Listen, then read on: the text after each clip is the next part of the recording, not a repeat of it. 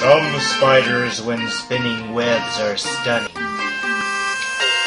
and its detaining of flies is cunning, just as elaborate as alarm clocks, with natural, instinctive traps, which shocks. This intuitive ambush is enough to fasten the crawling ant, calm, then rough.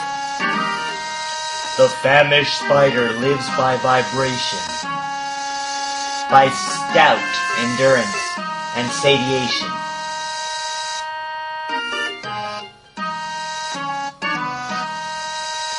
Some progress liberally with flawless eyes, with enormous furtiveness and surprise.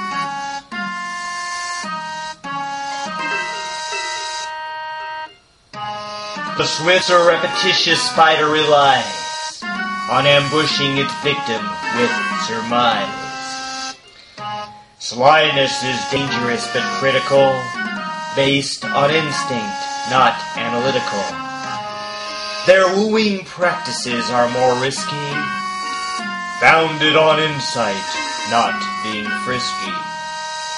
He arrives with the gift of a fresh fly, or ties her down if she will not comply. With skillful strokes and swift movement severe, the act of innate courtship does appear. They woo with caution and calculation. The female is an intense creation. She eats him if she does not feel the same. By mood and appetite in nature's game. A male gambles, seeking destination, when female prize is his inspiration. Wooing with innate semaphore pursuit, with its Taurus raised in tender salute. The male is not probing for deference, but he trusts that she is his preference. He will impulsively ruffle, then jerk, with his instinctive mating spider quirk. If not swallowed, their abdomens draw close.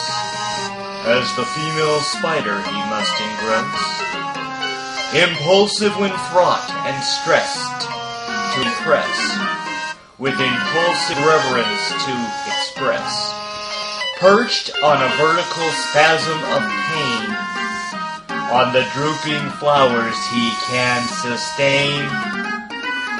Reaching her opening, he injects sperm, where the receptacle's fluid stands firm.